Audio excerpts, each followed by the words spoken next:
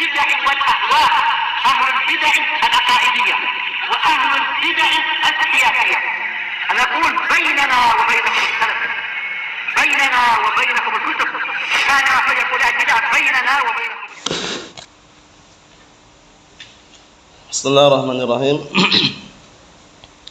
الحمد لله والصلاة والسلام على رسول الله وعلى آله وصحبه ومن والاه ما بعد. Kita lanjutkan bacaan terhadap kitab Mustalahul Hadis karya Syekh Muhammad bin Saleh Al-Utsaimin rahimahullah. Halaman 60 disimak baik-baik barakallahu fi. Kata beliau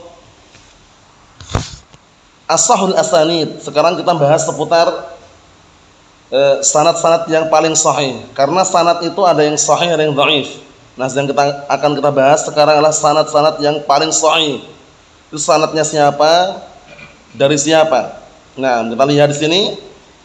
Kata beliau, wa tahqiqu. Dan pendapat yang benar ngartikannya gitu ya. Wa tahqiq itu pendapat yang benar setelah diteliti.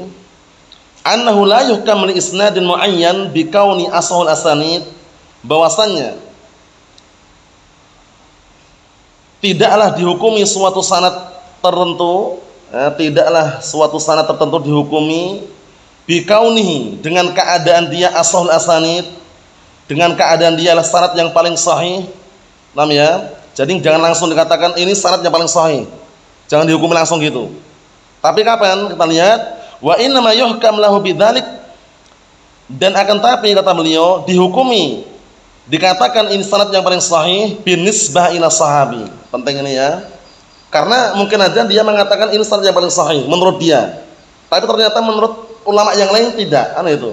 Tapi kalau antum catatan kalau antum tambahi catatan bahwasanya ini adalah sanad yang paling sahih dari jalurnya Abi Hurairah. Benar.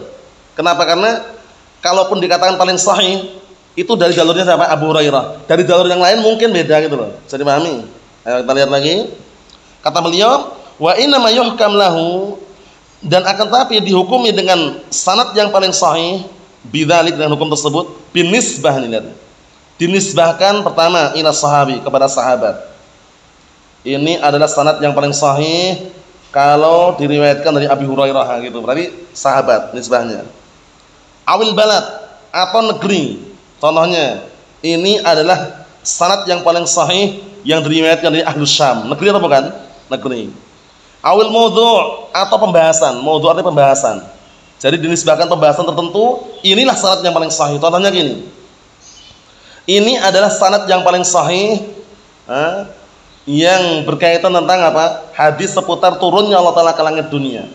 Mudhu' pembahasan. Pembahasan atau bukan itu? Pembahasan itu seputar turunnya Allah Taala ke langit dunia. Banyak hadis, banyak riwayat, tapi sanad yang paling sahih adalah ini. Jadi pahami? Jadi harus ada catatannya. Jangan antum mengatakan ini adalah sanad yang paling sahih. Kalau gitu saja itu kena kritikan nanti. Tapi harus ada tambahan apa barakallahu fiik? Ada tambahan ini adalah sanad yang paling sahih kalau diriwayatkan dari Abi Hurairah. Satu contohnya. Kedua, ini adalah sanad yang paling sahih kalau diriwayatkan dari Ahlus Syam negerinya. Faham? Yang ketiga, ini adalah sanad yang paling sahih yang berkaitan masalah hadis seputar turunnya Allah Taala ke langit dunia. Berarti maudhu pembahasannya. Jadi pahami? Nah, kita lanjutkan perhatikan. Fayuqal maka dikatakan asahu asanid Abi Bakar. Masya Allah lihat ini. Ini nisbahkan sahabat ini ya, dinisbahkan kepada sahabat. Sanad yang paling sahih adalah sanad Abu Bakar. Asahu asanid Abi Bakar. Maksudnya ini kalau dinisbahkan kepada sahabat tertentu. Tapi kalau dinisbahkan kepada sanad tertentu tanpa menyebutkan sahabat, tanpa menyebutkan nama negeri, tanpa menyebutkan pembahasannya itu jangan karena nanti khawatirnya apa? Khawatirnya ada kritikan. Karena menurut dia mungkin paling sahih tapi menurut yang lain bisa jadi tidak sahihan itu. Nah, kita lihat sini Asahu asanid Abu Bakar. Nah, ini adalah sanad-sanad yang paling sahih Nah, dari jalurnya Abu Bakar. Yang kedua contoh yang kedua, asahu asanid ahli Hijaz. Nah, ini adalah apa? Sanad yang paling sahih untuk penduduk Hijaz. Nah, maksudnya riwayat dari ahli Hijaz inilah sanad yang paling sahih. Berarti ada catatannya. Ahlu Hijaz, Abu Bakar, paham belum? Enggak mutlak itu ya. Asahu asanid haditsun nuzul. Nah, ini adalah apa? Adalah sanad yang paling sahih seputar apa? Hadis yang berkaitan tentang nuzul. Apa nuzul ini? Turunnya Allah Taala ke langit dunia. Bisa dipahami insyaallah ya? Naam. Waqad dzakaru asahan asani binisbah ila sahabah. Perhatikan ini. Dan sungguh mereka telah menyebutkan sanad-sanad yang paling sahih dinisbahkan kepada sahabat. Faminha maka di antaranya, artinya minha di antaranya, maka di antaranya yang pertama asahul asanid ila Abi Hurairah wa anhu. Penting ini. Sanad yang paling sahih sampai kepada Abu Hurairah wa anhu. Kita lihat sanadnya siapa? Az-Zuhri an Sa'id bin Musayyib an Abi Hurairah. Nah, kalau antum jumpai sanad haddatsana Az-Zuhri, haddatsana Sa'id bin Musayyib an Abi Hurairah. Nah, sanad seperti itu itu paling sahih. Bisa dipahami? Sanad yang paling sahih eh, yang sampai kepada Abu Hurairah sanadnya ini Az-Zuhri an Sa'id bin Musayyib. Di sana ada enggak sanad yang lain? Ada, cuman ini yang paling sahih. Dari jalurnya Zuhri an Sa'id bin Musayyib. Bisa dipahami? An Abi Hurairah. Yang kedua, wa asahul asanid ila Abdullah bin Umar bin Khattab anhuma. Dan sanad yang paling sahih jadi sanad yang paling sahih yang sampai kepada Abdullah bin Umar bin Khattab anhuma Malik an Nafi' an Umar. Kalau antum jumpai sanad terbentuk seperti ini, haddatsana Malik an Nafi' an Umar, sanad seperti ini, ini paling sahih. Paham ya? Inilah sanad yang paling sahih sampai kepada siapa? Ibnu Umar. Berarti sana ada sanad yang lain enggak? Ada. Cuman ini yang paling sahih. Jadi paham enggak?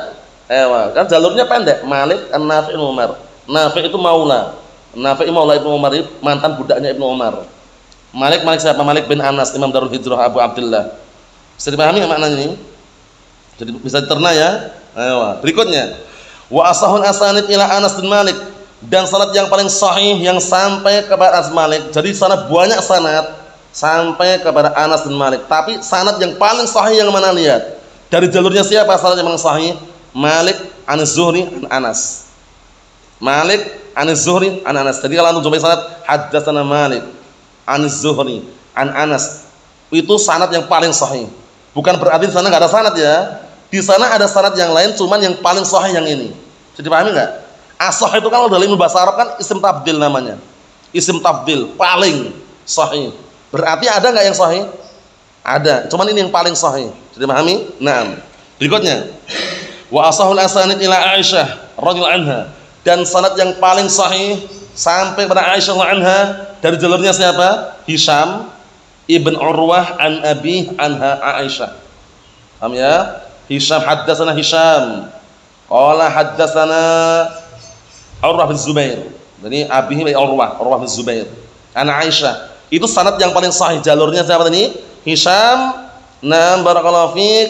Nam ibn Urwah an Abi berarti an Urwah bin Zubair. Mafhum? Naam. Wa asahul asnanid ila Abdullah bin Abbas radhiyallahu dan sanad yang paling sahih sampai kepada Abdullah bin Abbas radhiyallahu anhu jalurnya siapa? Az-Zuhri an Ubaidillah bin Abdullah an Ubaidillah bin Abdullah bin Utsbah Ibn Abbas. Tiga. Zuhri, Ubaidillah bin Abdullah bin Utsbah Ibn Abbas. Ini sanad yang paling sahih yang sampai kepada Abdullah bin Abbas radhiyallahu anhu. Bisa dipahami enggak ini? Bisa dipahami insyaallah ya. Bukan berarti di sana nggak ada sanad yang lain. Kita katakan ada di sana sanad yang lain ada. Sahih juga. Cuman yang paling sahih ini. Bisa dipahami? Asah paling sahih di sini. Yang berikutnya, wa asahul asanid ila Jabir bin Abdullah radhiyallahu. Dan sanad yang paling sahih sampai Jabir bin Abdullah radhiyallahu. Sufyan Ibnu Uyainah an Amr bin Dinar an Jabir. Sufyan Ibnu Uyainah nam an Amr bin Dinar an Jabir. Ini sanad yang paling sahih ya, sanad yang sahih dari Sufyan bin Uyainah an Amr bin Dinar an Jabir. Mafhum? Ayo na'am. Nah, sekarang ada riwayat yang diperselisihkan. Kita selesaikan di sini. Wa amma riwayatu Amr bin Shu'aib an Abi, ada pun riwayatnya Amr bin Shu'aib dari bapaknya. Siapa bapaknya ini? Nah, yaitu Shu'aib an jaddih. Siapa jadnya ini? Siapa kakek ini? Ai, nah barakallahu fik eh, namanya Jad Abi Shu'aib namanya kakeknya nah, Shu'aib adalah Abdullah bin Amr bin As.